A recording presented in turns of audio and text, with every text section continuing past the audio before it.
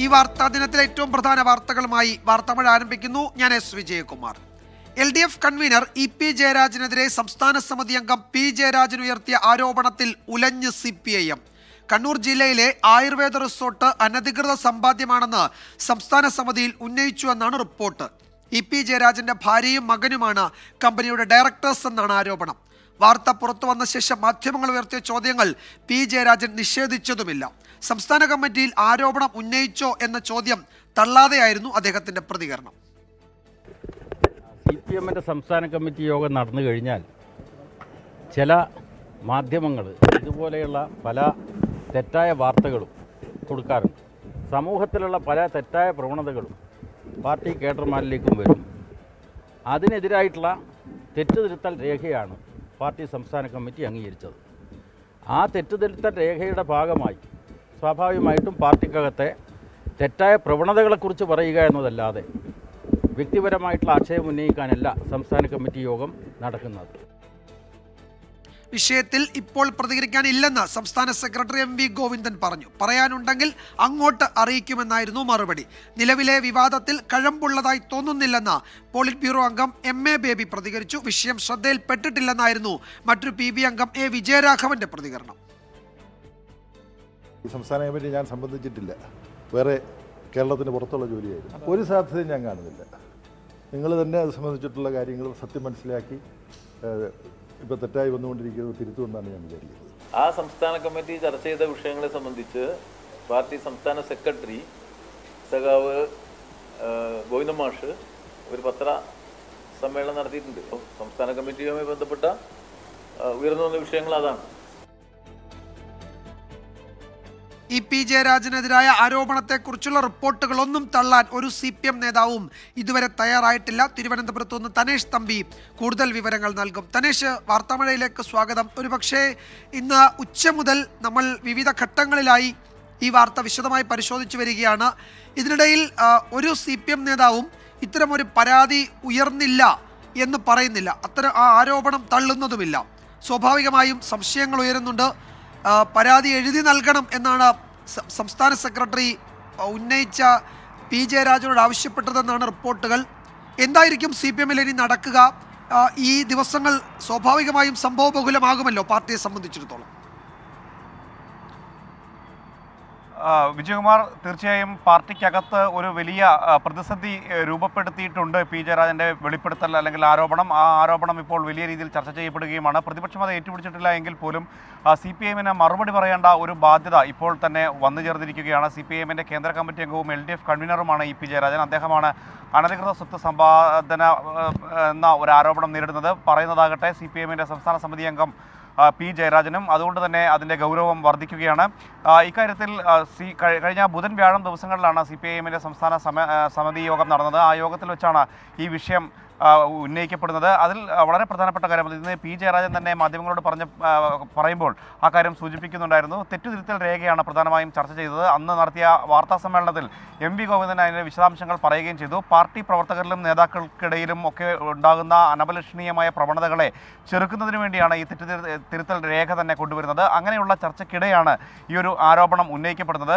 P. Jayarajan പറഞ്ഞത് വ്യക്തിപരമായ ഏതെങ്കിലും തരത്തിലുള്ള പരാമർശങ്ങൾ നടത്തിയിട്ടില്ല എന്നുള്ളതാണ്. പക്ഷേ നമുക്ക് ലഭിക്കുന്ന വിവരം കൃത്യമായി ഇ പി ജയരാജന്റെ പേര് പറഞ്ഞുകൊണ്ടാണ് ഇക്കാര്യത്തിൽ കാര്യത്തിൽ ആക്ഷേപം ഉന്നയിച്ചിരിക്കുന്നത്. കഴിഞ്ഞ കുറേ വർഷങ്ങളായി ഈ ഒരു ആരോപണം അന്തരീക്ഷത്തിൽ നിലനിൽക്കുന്നുണ്ട്. പക്ഷേ അത് കണ്ണൂർ ജില്ലയുടെ അതിർത്തി വിട്ട് പുറത്തേക്ക് വന്നിരുന്നില്ല എന്നുള്ളതാണ് വസ്തുത. കണ്ണൂർ ജില്ലയിലെ പാർട്ടിക്കകത്ത് വലിയ രീതിയിലുള്ള അമർഷവും അതുപോലെ തന്നെ വലിയ രീതിയിലുള്ള അസ്വസ്ഥതയും ഈ റിസോർട്ട് വിവാദം ഉണ്ടാക്കിയിരുന്നു. ഈ കണ്ണൂരിലെ ഈ നിർമ്മിച്ചുകൊണ്ടിരിക്കുന്ന ആയുർവേദ റിസോർട്ട് ആയുർവേദ വില്ലേജ് എന്ന ഒരു സങ്കല്പം. അത് അതിന് പിന്നിൽ ഇ പി ജയരാജനാണ് എന്നുള്ളതാണ് അവിടെ ഒളിഞ്ഞും പതുങ്ങിയുമൊക്കെ പാർട്ടി നേതാക്കൾ അടക്കം പറഞ്ഞിരുന്നത്. പക്ഷേ അത് ഇത്രത്തോളം ഒരു സംസ്ഥാന നേതൃത്വത്തിന് മുന്നിൽ ഉന്നയിക്കുന്ന ഒരു ഘട്ടത്തിലേക്ക് എത്തുന്നത് ഇപ്പോഴാണ്. അത് കണ്ണൂർ ആഭ്യന്തര രാഷ്ട്രീയവുമായി കൂടി ബന്ധപ്പെട്ട് കിടക്കുന്നു അതിന്റെ വേരുകൾ എന്ന് നമുക്ക് ആലോചിക്കുമ്പോൾ മനസ്സിലാകും. ഏതായാലും ആ ഒരു പശ്ചാത്തലം കൂടി ഉള്ളത് കൊണ്ട് കൂടിയാണ് ഇന്ന് ഈ വാർത്ത പുറത്തു വരുന്നതിന് ശേഷം ഈ നേതാക്കളാരും അക്കാര്യത്തിൽ അടുത്ത പ്രതികരണങ്ങളിലേക്കൊന്നും പോകാതെ ഇരുന്നത് മാധ്യമങ്ങളെ പൂർണമായി തള്ളിപ്പറയാനും നേതാക്കളാരും തയ്യാറായിട്ടില്ല എന്നുള്ളതും പ്രത്യേകം ശ്രദ്ധേയമാണ്.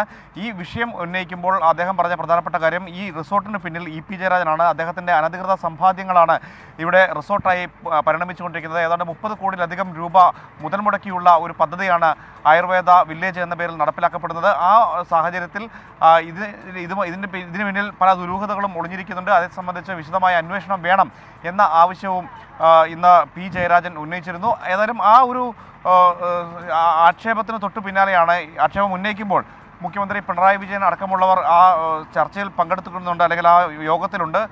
അതേസമയത്ത് ഇ പി ജയരാജൻ ആ യോഗത്തിൽ പങ്കെടുത്തിരുന്നില്ല എന്നുള്ളതും പ്രത്യേകം ശ്രദ്ധേയമാണ്. ഈ ചർച്ചയിൽ ഈ ആക്ഷേപം ഉന്നയിച്ചതിന് തൊട്ടു പിന്നാലെ സംസ്ഥാന സെക്രട്ടറി എം പി ഗോവിന്ദൻ അത്തരത്തിൽ പരാതി ഉണ്ടെങ്കിൽ ആ പരാതിയിൽ ഉറച്ചു നിൽക്കുന്നുണ്ടെങ്കിൽ അതൊരു രേഖ രേഖാമൂലമുള്ള ഒരു പരാതിയായി നൽകണം എന്ന ആവശ്യം ഉന്നയിച്ചു. എന്തായാലും ഇനിയിപ്പോൾ പി ജയരാജന്റെ കോട്ടിലാണ് പന്ത്. അദ്ദേഹം അത് രേഖാമൂലമുള്ള പരാതിയായിട്ട് നൽകുകയാണെങ്കിൽ പാർട്ടിക്ക് അന്വേഷണ കമ്മീഷനെ അടക്കം വെച്ചുകൊണ്ട് തുടർ നടപടികളിലേക്ക് പോകേണ്ടി വരും. അങ്ങനെ പോകുമോ അതോ അതിനു മുൻപ് ഈ പ്രശ്നം ഒരു സമവായത്തിലൂടെ പരിഹരിക്കാൻ സാധിക്കുമോ എന്നതടക്കമുള്ള ആലോചനകളൊക്കെ സി പി ഐ എം നേതൃത്വത്തിൽ നടക്കുന്നുണ്ട്. എന്തായാലും ഈ വിഷയം ഉന്നയിക്കപ്പെട്ട് കഴിഞ്ഞിരിക്കുന്നു. അത് പുറം ലോകത്തേക്ക് എത്തിക്കഴിഞ്ഞിരിക്കുന്നു. ഇനി മറുപടി പറയേണ്ടത് സി പി ഐ എമ്മിന്റെ നേതാക്കളാണ്. എം വി ഗോവിന്ദനാണ് ഇ പി ജയരാജനാണ്. ഒപ്പം ഒരുപക്ഷെ മുഖ്യമന്ത്രി കൂടി ആ കാര്യത്തിൽ മറുപടി പറയേണ്ടി വരും.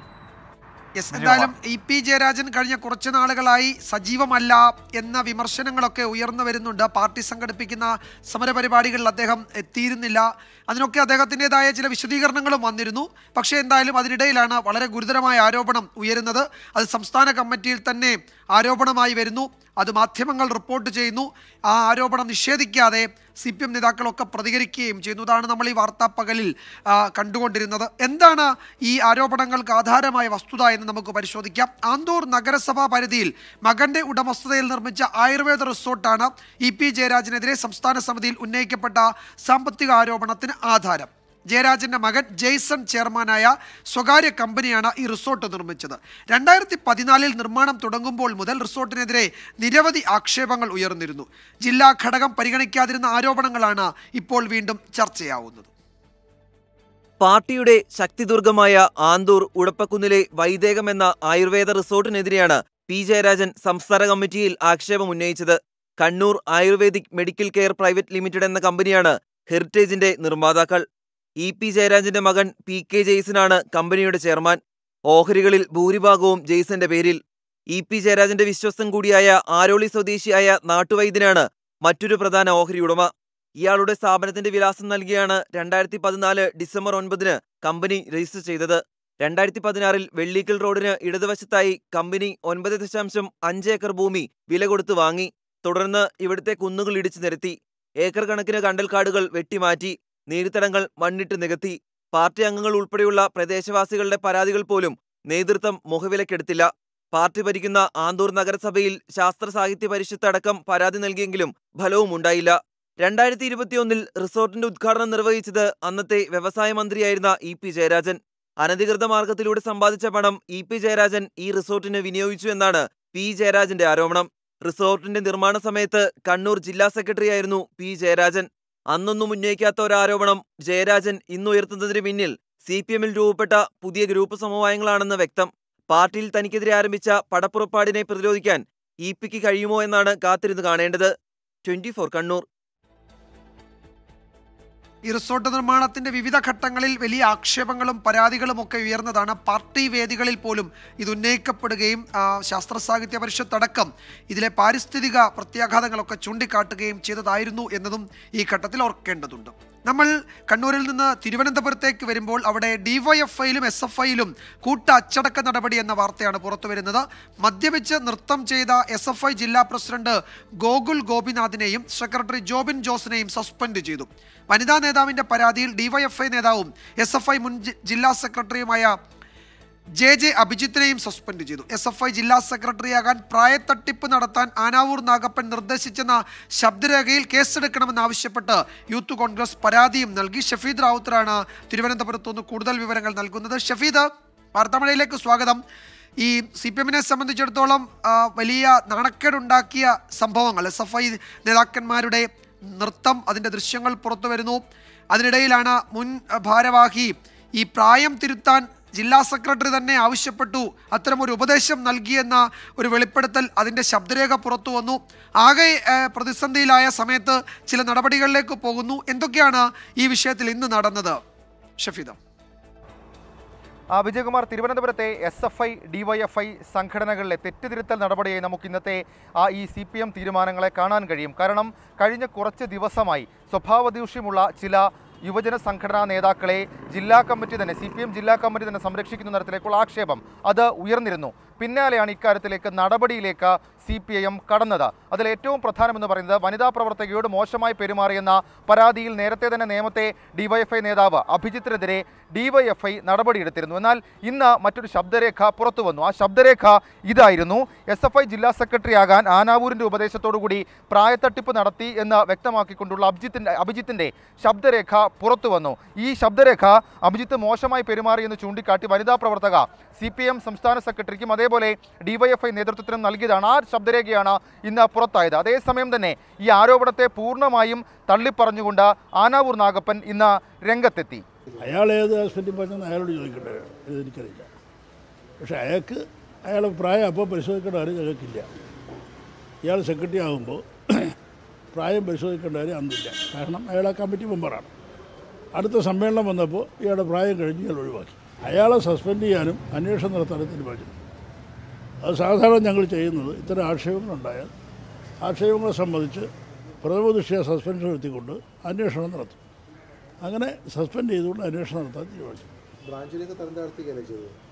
ബ്രാഞ്ചിൽ നിന്ന് സസ്പെൻഡ് ചെയ്യുക പാർട്ടി മെമ്പർഷിപ്പിൽ നിന്നാണ് സസ്പെൻഷൻ പിന്നാലെയാണ് വനിതാ പ്രവർത്തകയോടുള്ള മോശം പെരുമാറ്റത്തിന് അഭിജിത്തിനെ പാർട്ടിയുടെ പ്രാഥമിക അംഗത്വത്തിൽ നിന്ന് സസ്പെൻഡ് ചെയ്തുകൊണ്ടുള്ള സി പി എം തീരുമാനം വരുന്നത്.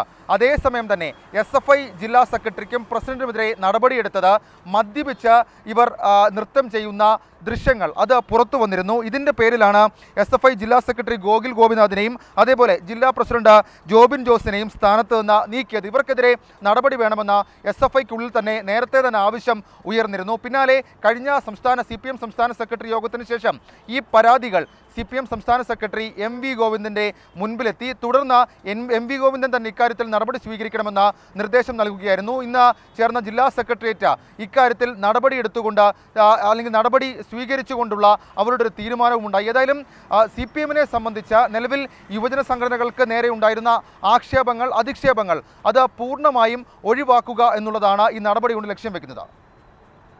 യെസ് ആ, ഷഫീദ് റാവുത്തറാണ് തിരുവനന്തപുരത്ത് നിന്ന് എസ് എഫ് ഐയിലെയും ഡിവൈഎഫ്ഐയിലെയും നടപടികൾ സംബന്ധിച്ചുള്ള വിശദാംശങ്ങൾ പങ്കുവച്ചത് വാർത്താമഴയിലേക്ക് വീണ്ടും സ്വാഗതം.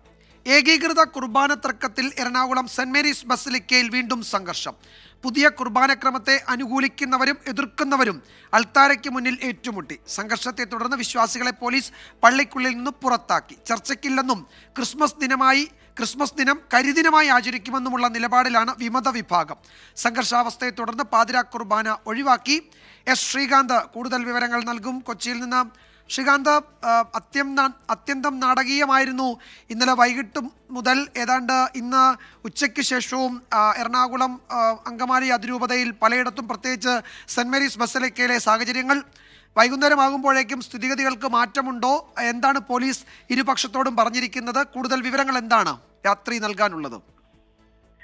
വിജയകുമാർ ഇന്നലെ തുടങ്ങിയ സംഘർഷം ഇന്ന് വൈകുന്നേരത്തോടു കൂടിയാണ് ഏറെക്കുറെ അവസാനിച്ചത്. പാതിരാ കുർബാന മാറ്റിവെച്ചു. തിരുക്കർമ്മങ്ങൾ ഒന്നും തന്നെ ക്രിസ്മസിനോടനുബന്ധിച്ച് ഉണ്ടാകില്ല ആ ഒരു സ്ഥിതിയിലേക്ക് കാര്യങ്ങൾ കൊണ്ടെത്തിക്കാൻ ഈ വിശ്വാസികളുടെ സംഘർഷത്തിനായി എന്ന് പറയാതിരിക്കാനാകില്ല. ഇന്ന് എ ഡി എമ്മിന് മുന്നിൽ ഇരു വിഭാഗവും ചർച്ചയ്ക്കെത്തി. അതോടുകൂടി അവർ ഒരു തീരുമാനത്തിലെത്തി. തൽക്കാലം തിരുക്കർമ്മങ്ങളൊന്നും വേണ്ട. ഈ പ്രശ്നത്തിന് പരിഹാരമായിട്ട് മതി. അത്തരം കാര്യങ്ങളിലേക്ക് പോകുന്നതിന് എന്ന് അവർ തീരുമാനിച്ചു തീരുമാനിച്ചിട്ടുണ്ട്. രാവിലെ വലിയ സംഘർഷം അവിടെ ഉണ്ടായി. അവസാനം വിശ്വാസികളെ പോലീസ് ബലപ്രയോഗത്തിലൂടെ പുറത്താക്കി ഗേറ്റ് പള്ളിയുടെ ഗേറ്റ് പൂട്ടേണ്ട സാഹചര്യവും അവിടെ ഉരുത്തിരിയുകയുണ്ടായി. വിമത വൈദികർ ഇപ്പോൾ പറയുന്നത് അവർ ഈ ക്രിസ്മസ് കരിദിനമായി ആചരിക്കും എന്നുള്ളതാണ്. നിലവിൽ തങ്ങൾക്കെതിരെ ഈ സഭയിലെ ഈ ഇത്തരം ഈ ജനാധിപത്യ കുർബാനയെ അനുകൂലിക്കുന്നവർ നടത്തുന്ന നീക്കങ്ങൾക്കെതിരെ കരിദിനം ആചരിക്കാൻ തീരുമാനിച്ചിട്ടുണ്ട്. അവർ മാർപ്പാപ്പയ്ക്ക് കത്തയക്കുകയും ചെയ്തിട്ടുണ്ട് വിമത വൈദികർ. ഈ പ്രശ്നത്തിൽ അടിയന്തരമായി ഇടപെടണം. അതാണ് അവരുടെ ആവശ്യം.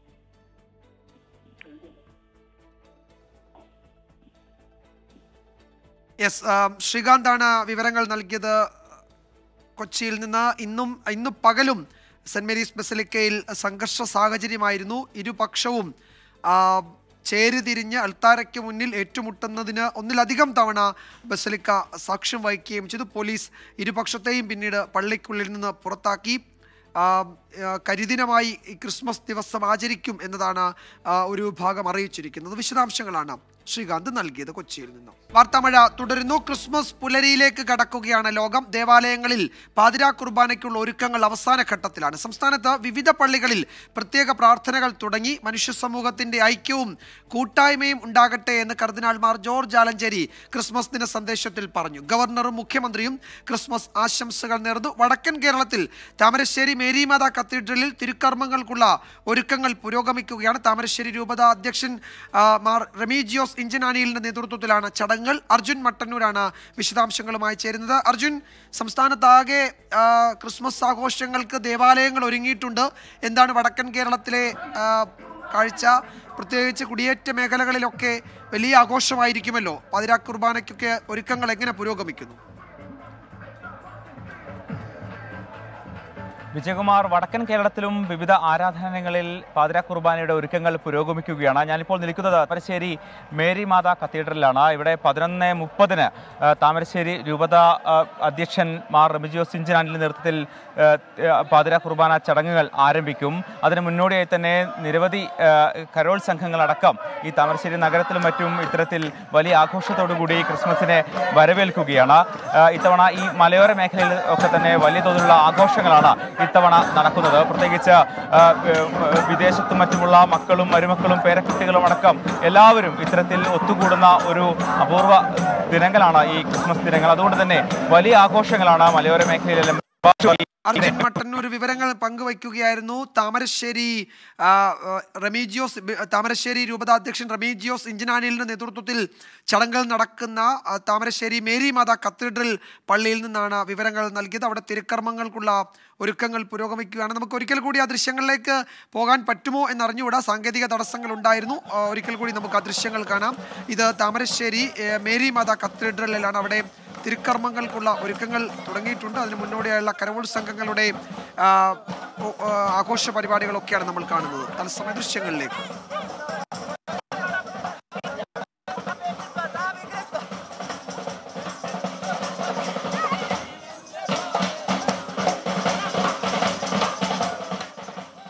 അർജുൻ മട്ടന്നൂരായിരുന്നു വിവരങ്ങൾ പങ്കുവച്ചത്. മണ്ഡലപൂജയ്ക്ക് ദിവസങ്ങൾ മാത്രം ശേഷിക്കെ അവസാനഘട്ട ഒരുക്കങ്ങളിലാണ് സന്നിധാനം.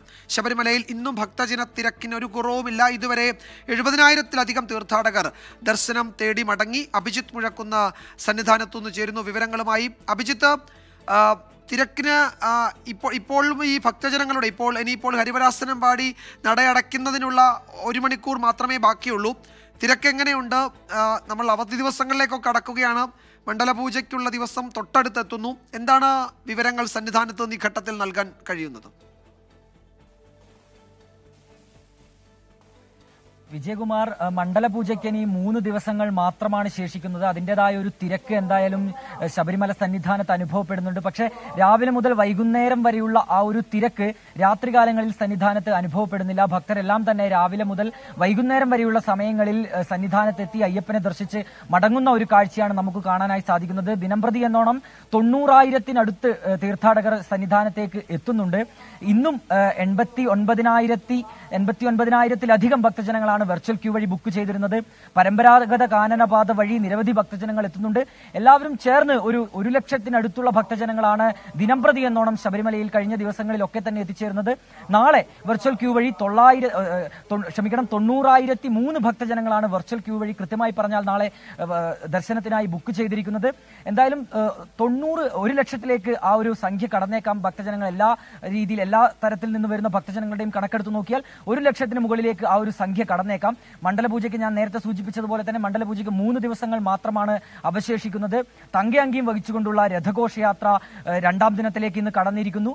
നാളെ മൂന്നാം ദിനത്തിലേക്ക് രഥയാത്ര എത്തും ശേഷം ഇരുപത്തിയാറാം തീയതി അതായത് മറ്റന്നാൾ ദീപാരാധനയ്ക്ക് മുൻപായി മുന്നോടിയായി ഇവിടെ ശബരിമല സന്നിധിയിലേക്ക് തങ്കരഥം തങ്കയങ്കി വഹിച്ചുകൊണ്ടുള്ള രഥഘോഷയാത്ര കടക്കും. ശേഷം അയ്യനെ തങ്കയങ്കി ചാർത്തിക്കൊണ്ടുള്ള ദീപാരാധനയാണ്. പിന്നീട് ഇരുപത്തിയേഴിനാണ് മണ്ഡലപൂജ നടക്കുക. പിന്നെ മകരവിളക്കിന് തുറക്കുന്നതിനായുള്ള നടയടക്കലാണ്. പിന്നെ മകരവിളക്കിനായി സന്നിധാനം വീണ്ടും തുറക്കും. ഈ ഒരു അവസരത്തിൽ നിരവധിയായ ഒരു ഭക്തജന തിരക്ക് എന്തായാലും സന്നിധാനത്ത് അനുഭവപ്പെടുന്നുണ്ട്. ക്രിസ്മസ് അടക്കമുള്ള അവധി ദിനങ്ങളുണ്ട്. സ്കൂളുകൾ അടച്ചിരിക്കുന്ന ആ ഒരു സാഹചര്യത്തിൽ വലിയ രീതിയിലുള്ള ഒരു ഭക്തജന തിരക്ക് തന്നെ സന്നിധാനത്ത് അനുഭവപ്പെടുന്നുണ്ട്. പക്ഷെ കാര്യമായ രീതിയിലുള്ള ഒരു നിയന്ത്രണങ്ങളില്ല ഭക്തജനങ്ങൾക്ക് മേൽ. കാരണം പമ്പ മുതൽ ഇങ്ങോട്ട് ഭക്തജനങ്ങളെ ശരിയായ രീതിയിൽ തന്നെ ഭക്തജനങ്ങൾക്ക് ദർശനം സാധ്യമാകുന്ന തരത്തിലുള്ള ക്രമീകരണങ്ങൾ പോലീസിന്റെ ഭാഗത്തു നിന്നുണ്ടായിട്ടുണ്ട്. നടപ്പന്തലിൽ അല്പസമയം നിൽക്കേണ്ടി വരുന്നതൊഴിച്ചാൽ കാര്യമായ ഒരു ബുദ്ധിമുട്ട് അയ്യപ്പനെ ദർശിക്കുവാൻ ഭക്തജനങ്ങൾക്കില്ല. പതിനെട്ടാം പടി എന്തായാലും ശരാശരി തൊണ്ണൂറായിരം തീർത്ഥാടകർ എന്ന മട്ടിലേക്ക് ഓരോ ദിവസവും ശബരിമലയിൽ ദർശനം നടത്തുന്ന ഭക്തരുടെ എണ്ണം വരുന്നുണ്ട്. നാളെയും ഏതാണ്ട് തൊണ്ണൂറായിരത്തിലധികം ആളുകൾ വെർച്വൽ ക്യൂ വഴി ബുക്ക് ചെയ്തിട്ടുണ്ട്. അല്ലാതെ വരുന്നവർ വേറെയും അങ്ങനെ തിരക്ക് നന്നായിട്ടുണ്ട്. ഇരുപത്തിയേഴിനാണ് മണ്ഡല പൂജ ആ ദിവസമാകുമ്പോഴേക്കും തിരക്ക് കുറെ കൂടി ഉണ്ടാകുമെന്നാണ് പ്രതീക്ഷിക്കുന്നത്. ഇനി ശബരിമലയിലെ നാളത്തെ ചടങ്ങുകൾ നോക്കാം.